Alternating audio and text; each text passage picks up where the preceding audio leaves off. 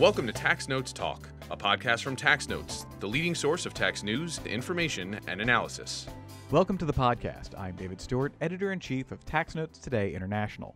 This week, extra credit. In mid July, the IRS will begin distributing advanced child tax credit payments.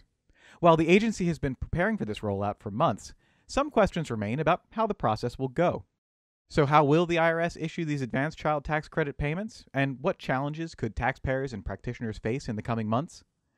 Here to talk more about this is TaxNotes contributing editor Marie Sapirie. Marie, welcome back to the podcast. Thanks for having me. Now, you've been covering this topic pretty closely over the past year. Could you tell us about the new advanced child tax credit and how it came about? The Advanced Child Tax Credit was enacted in the American Rescue Plan Act, which was signed into law on March 11th. The new law increased the amount of the credit for 2021 for families under certain income thresholds and made two major changes to how the credit is administered from the existing child tax credit. First, it is fully refundable. And second, Instead of the financial benefit being claimed only when a taxpayer files their return, the American Rescue Plan Act added advanced periodic payments of the credit amount.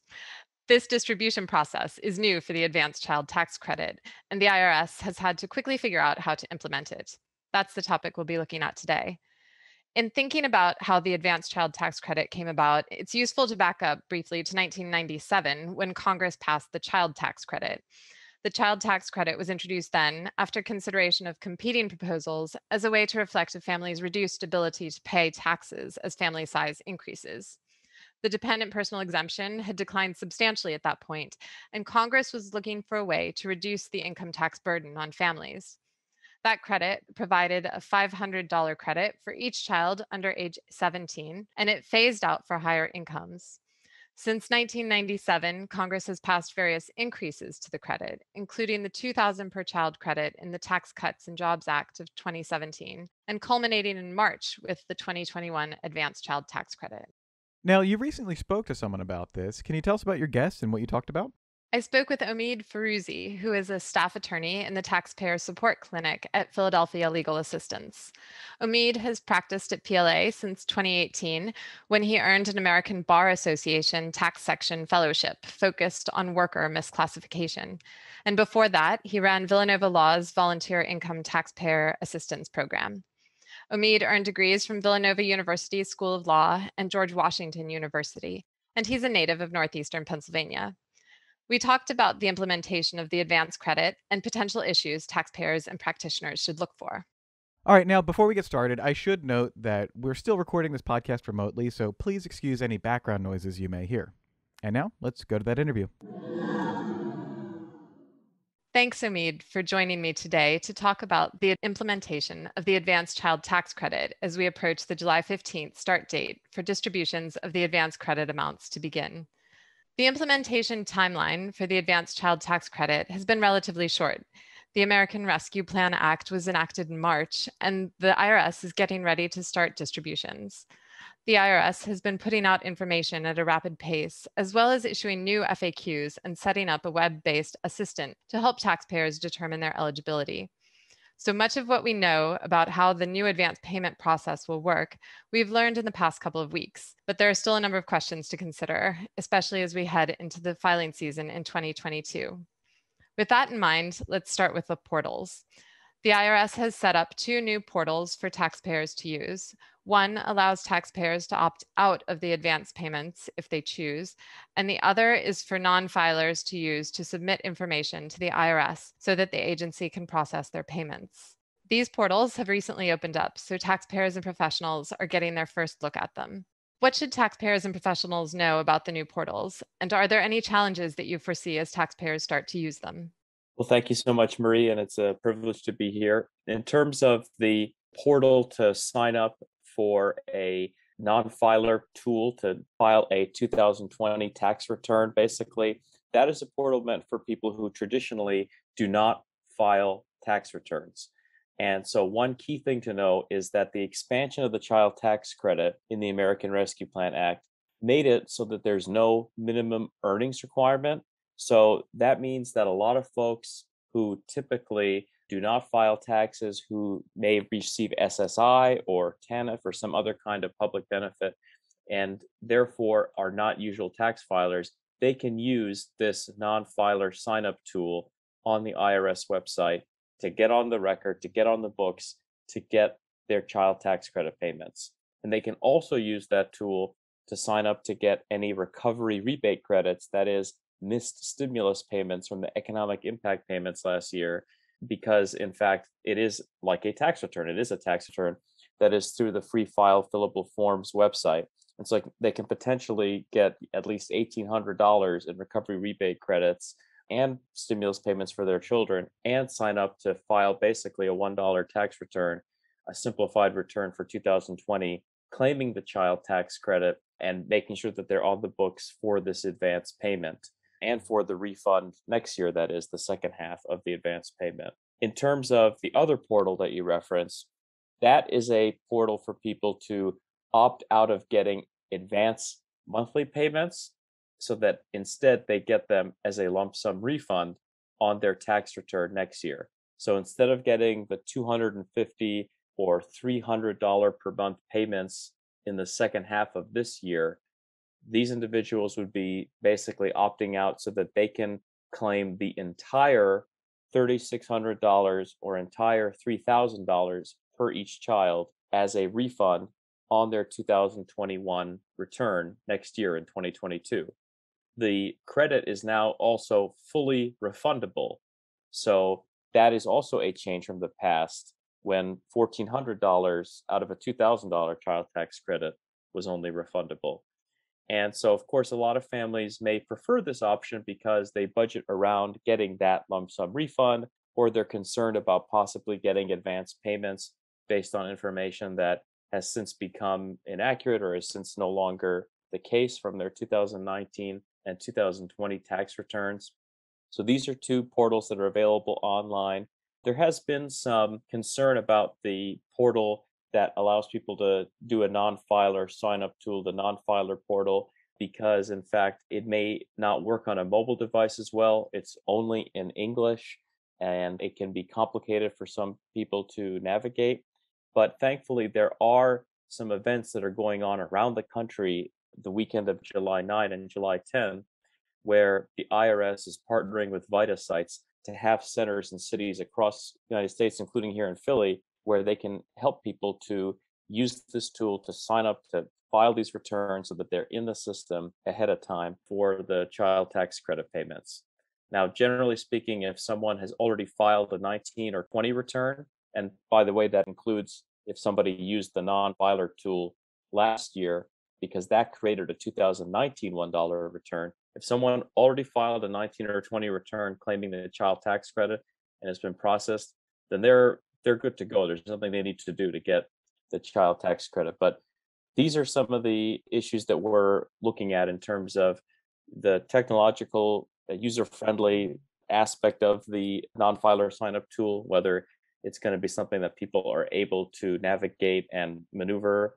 And related to that, I should say, is that we'd be curious to see if I'd be curious to see if the IRS will actually look to public benefits programs that are they already have information about to get benefits to people who don't end up using the non-filer sign up tool because the law seems to contemplate that they'll get these advance payments out to people based on information from Social Security, SSI, veterans benefits, railroad benefits. So I hope that that does occur because these are people who are some of the absolute poorest people who need this help more than anyone.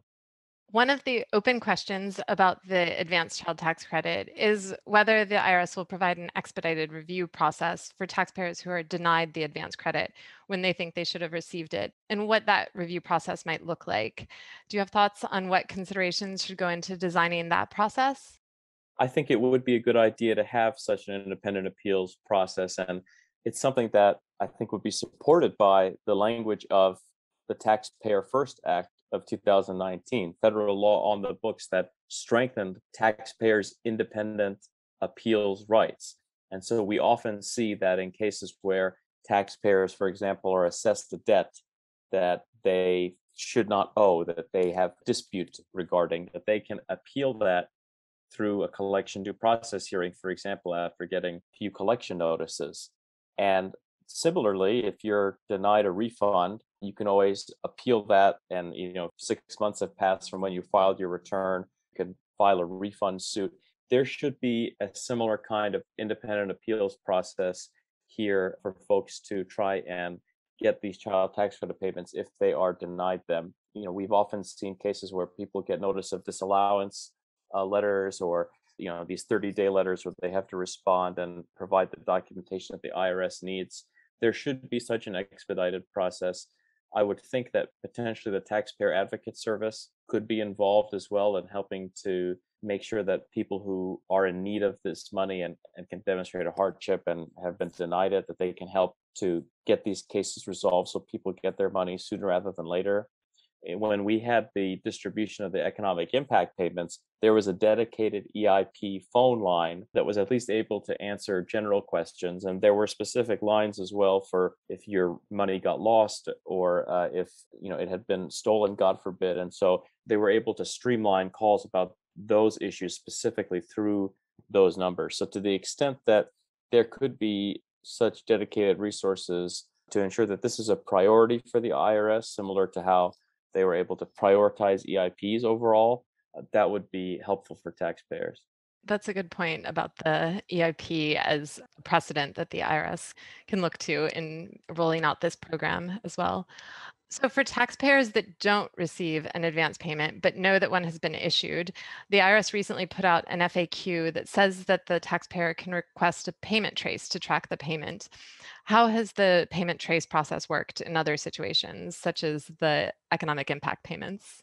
So, I've had a lot of success in utilizing the payment trace process with regard to economic impact payments. We've been able to help people get money that they were rightfully eligible for and that got lost in the mail or got intercepted by an identity thief.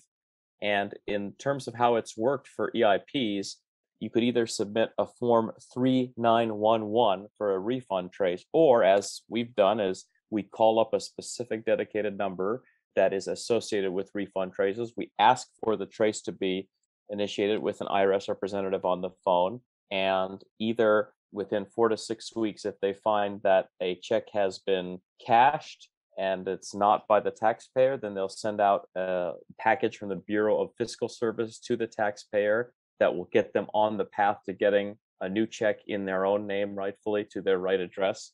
Or if a check hasn't been cashed, then they'll send out a new check, new payment to the person at their correct address. And so we've had, I had at least two clients I can identify who their EIPs got lost in the mail one of them had moved, one of them it, it just genuinely got lost in the shuffle. But we put in refund traces, and within a few weeks, they were able to get their payment. We had some one person who their payment went to an old address, and someone there cashed it, unfortunately. But we were able to put it in that that was a, a, stealing of the check and so we were able to get a bureau of fiscal service package out to her and then she was able to get her own check in the end so it's a process that has worked well at least in my personal experience, in terms of the economic impact payment. So, to the extent that this could be something that could help people with the child tax credit, I think that will be good because we've still been seeing mail delays.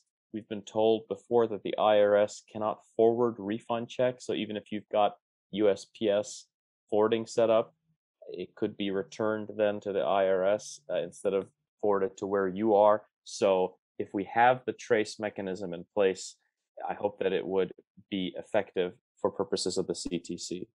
One of the aspects of implementing the advance payments process that the IRS has worked on is communicating information about the process to the public. Would you tell us about the outreach efforts that you've been involved in and what those will include over the course of the rest of the year? Absolutely. We have done Facebook Lives in which we've talked about this benefit and what people can expect to see about it and, and what it'll look like. We've also done social media posts. We've put information up on our website at philalegal.org. We are partnering with VITA sites in the Philadelphia region as part of these advanced child tax credit free tax prep days that will be in the weekend of July 9th and 10th, where we're going to be providing information to taxpayers and making sure that we're doing our own outreach education at these events and referring anyone who has questions who comes through our intake to those events, people who need to still get their 2020 tax returns done to get on the books for the child tax credit.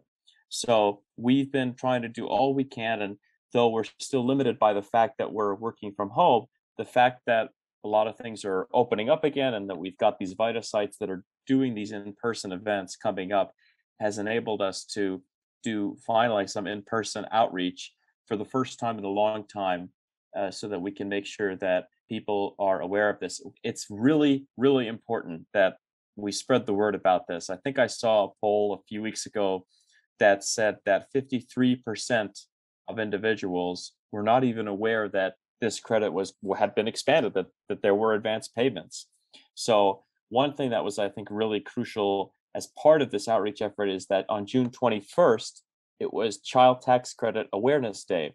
So you saw the president the vice president the secretary of the treasury members of congress social services organizations legal aid offices like our own posting all over facebook twitter instagram everywhere about the child tax credit how it will work, promoting the non-filer sign-up tool, and using simple, clear language to make sure that people were aware of what to expect, how much the payments would be each month, the fact that they would be on the 15th each month, except for August, because the 15th uh, ends on a week is on a weekend that month, and so it'll be on the 13th, and letting people know that if they did file a 19 or 20 return or signed up on the non-filer tool last year, that there was nothing that they needed to do as long as they were income eligible. But I think efforts like those are really important to spread the word so that people uh, know that you know when this money starts hitting their bank accounts that you know what it's all about and if they don't get that money because they haven't taken an action like filing a 2020 return uh, let's say that they know what to do in order to get there Looking ahead to the 2022 tax return filing season, when the advanced child tax credit payments and the 2021 child tax credit will be reconciled, what potential issues should taxpayers and practitioners be aware of? There are a lot of issues that taxpayers and practitioners should be aware of here, including if a child, for example, lived with another parent or another individual in 2021 and that information hadn't been updated yet for example. Now, there will be a portal that will be coming out actually in August, it seems like, where taxpayers can update their family and income information so that they can see to it that they get the correct amount of advance payments. Because that's something that is really important. Because let's say you had a baby that was born in 2021, then you can make sure that you use this portal to try and update that information so that that child is on the books so that you can start getting advanced payments for them. But if for whatever reason you were unsuccessful in using you, this portal to get that information on the books, then you can claim the whole 3,000 or $3,600 child tax credit for that child on the 2021 return in 2022. Another thing that people should know is that if you get more child tax credit advance payments than you should have received because let's say your child aged out and the IRS didn't catch it, right? So you have to be in this new child tax credit at 17 or younger. It used to be 16 or younger, but basically, you know, if you're under age 18, you're eligible for child tax credit here. You're you're an age eligible child. And the IRS should be able to figure out who's age eligible still before 2021 ends. But let's say they missed it for some reason in the system and you got more payment for that child and, and you shouldn't have, and they're 18, 19 now, let's say, or let's say you're the child that you claim now is living with someone else and you didn't have a chance to update it, then you know there is a total safe harbor forgiveness on repaying all of the money if you make below $40,000 as a single filer, 50,000 for head of household, and 60,000 for married filing jointly.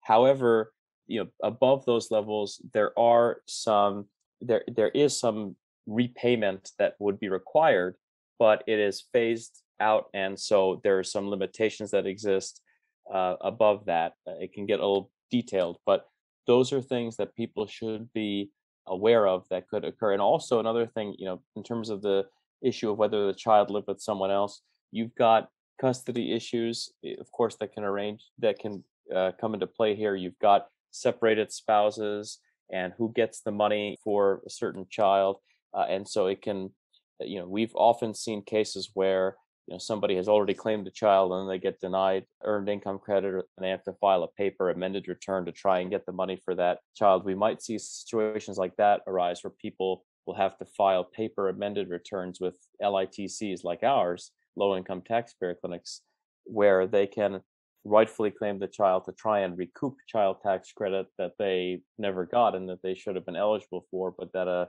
partner claimed and that they didn't have they didn't have a right to claim that child. So those are some of the things that we are going to be mindful of and they're very similar to some issues that occurred with economic impact payments because you had you know separated estranged spouses getting all of the money and the other spouse not being able to cash a check.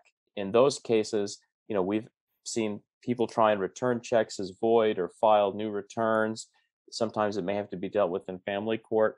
So there are a whole range of issues like that that we're expecting to see uh, we're also hoping that tax preparers will be able to fully claim the expanded child tax credit on the tax returns next year so that people can get all the money that they're eligible for and i'd be curious to see you know the total positive impact it could have on people when they get this money back as a fully refundable credit. One you know last thing here is just that if somebody didn't doesn't get any advance payments and they don't have they have little to no income and so they don't file a return traditionally. Let's say they only have ssi or another public benefit and they never used the non-filer tool last year they don't use the non-filer sign up tool this year then you know they still and they have a child who's age eligible they're still eligible because they're eligible based on the child that they have and and there's no minimum income earnings requirement. So it'll be a challenge to try and get those folks in the system in early 2022. So, hey, if you didn't get your advance payments, but you were eligible, you got to go ahead and file a 2021 return then to get the full $3,000 or $3,600 per child at that time. So, I envision that there will be a lot of people in that boat as well because the stimulus payments, the EIPs, you had a lot of people who didn't get any economic impact payment and they had to end up getting all of it as a recovery rebate credit on their 2020 return in 2021, especially a lot of folks who have little to no income, couldn't use the non filer portal last year. And so I think we're going to have a lot of people who are in that boat as well. But maybe we can do our best in the next coming weeks and months to try and get all these people in the system on the books now so they can start getting these advanced monthly payments because I know a lot of parents are already starting to budget in anticipation of getting these payments. So we hope it, it will have a positive beneficial impact projected to cut child poverty in half, which of course uh, would be such a big deal. So we'll see what happens. Thank you, Omeed, for joining the podcast today. Thank you so much. I really appreciate it. And now, coming attractions. Each week we highlight new and interesting commentary in our magazines. Joining me now is Acquisitions and Engagement Editor in Chief, Paige Jones. Paige, what will you have for us? Thanks, Dave. In Tax Notes State, Walter Hellerstein and Andrew Appleby provide an update and complete description of state marketplace platform legislation.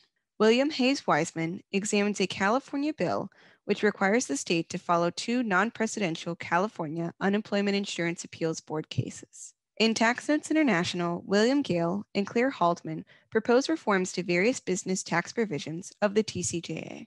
Louis Greenwald examines the IRS's authority to request taxpayers' intercompany agreements. On the opinions page, Joseph Thorndike writes that when struggling with tax enforcement, rich countries have long tried to shift blame to poor countries. He contrasts that with how the United States dealt with tax avoidance through the Bahamas in the New Deal era. And Doug Sheppard traces the career of Denvil Duncan, who rose from a modest upbringing in Jamaica to become an associate professor at Indiana University. That's it for this week. You can follow me online at TaxStew, that's S T E W, and be sure to follow at Tax Notes for all things tax. If you have any comments, questions, or suggestions for a future episode, you can email us at podcast at taxanalyst.org. And as always, if you like what we're doing here, please leave a rating or review wherever you download this podcast. We'll be back next week with another episode of Tax Notes Talk. Tax Notes Talk is a production of Tax Notes. You can learn more about us by visiting www.taxnotes.com/podcast. When major media wants the straight story, they turn to Tax Notes. Thank you for listening, and join us again for another edition of Tax Notes Talk. Tax Analysts Inc. does not provide tax advice or tax preparation services. Nothing in the podcast constitutes legal, accounting, or tax advice. A full disclaimer is included in the transcript.